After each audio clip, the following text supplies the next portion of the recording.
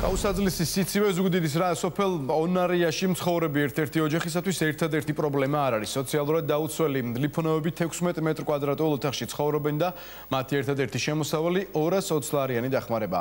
ზუგდიდის გამგეობაში აცხადებენ რომ ოჯახი გათბობისათვის 100 ლარიან ვაუჩერს იანვრიდან მიიღებს. მანამდე ბიუჯეტში თანხა გათვალისწინებული არ არის. ასე რომ მათ ცივი ახალი წელი ელოდებათ მანამდე კი პატარა ლიფონოები შეშას თოვლის ბაბუას თხოვენ. ბავშვებს წავიღან სკოლიდან რომ მოდიან ასე ვიმარშობით, პალობთ, რომ გავათმო ბავშვები. ლიფონავებისთვის ყოველი დღე ერთნაირია სკოლიდან დაბრუნებული სამი ბავშვი დედასთან ერთად ღამე გასათბობად შეშას აგროვებს. დღევანდელი მარაგი სულ ეს არის. სოციალურად დაუცველი ოჯახი ღამე ამ ფიჩხებით უნდა გათბეს. გაუსაძლისი სიცივე მათი ერთადერთი პრობლემა არ არის. დღევანდელია ეს ლელა ლიფონავა ქმართან და სამშულთან ერთად ამ 12 კვადრატულ ოთახში ცხოვრობს. ზუგდიდის მუნიციპალიტეტის სოფელ ონარიაში, საბავშვო ბაღის ყოფილ შენობაში, ოთახში ქარი ისე ქრის, როგორც გარეთ. ეს ოთახი ლიფონავებისთვის მისაღებიცაა საძინებელიც, სამზარეულოც და აბაზანაც. ლიფონავების ხუთსულიანი ოჯახი სამსაწოლზე იძინებს, მათ არც ბალიში აქვს და არც ლეიბი. მეზობლების მიერ ნაჩუქარი პლედები კი უკვე დაუძველდათ და ვეღარ ათბობთ. სალები არ არის ბალიში არა გოთარდი და წევა გამაში ეს ეს ამაში.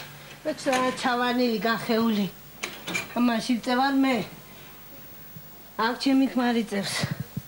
ბალიში არა და ბავშვები. ა ბავშვები ამაში. ა ეს მეზობელნა ეს ბალი ბალიშია?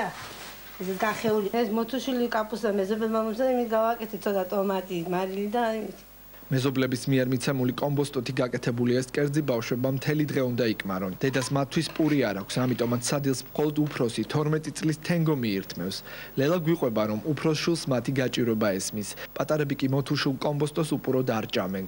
საღამოს შეიძლება გაუმართლოთ და მამამ პური მოიტანოს. ბეგლარ ლიფონავა მეზობლებთან პურისთვის შეშას ჩეხავს. ხო, მაგრამ სიერი დავწექი, არაბელი არ ვქონდათ. ესე დავაწინე ბავშვები ტირონა საჭმელი მინდა და მე საიდან მომეტან არ ვქონდა და მე მეზობელს გამოარჩი ერთი პური და ისე ჭამენ. ბავშვებს საჭმელი რომ მოდიან ახლა სკოლიდან პური არ არის და იყურებენ. ვინ მოგცემს დღეს არავინ არ მოგცემს პურს. ერთ პური თუ მოგცემს კიდევ მადლობა.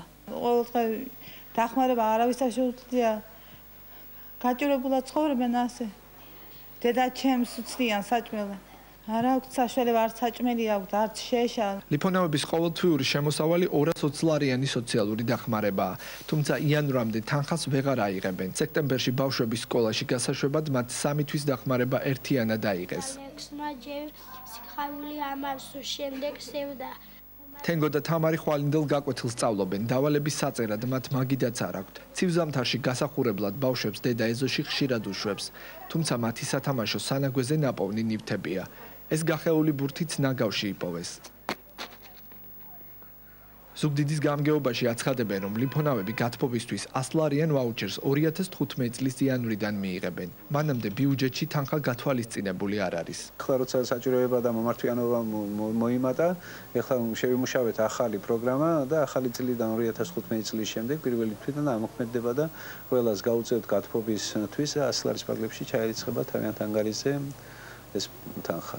გათბობა საახალწოდ ვერა, მაგრამ სავარაუდოდ შემდეგ ეკნებათ.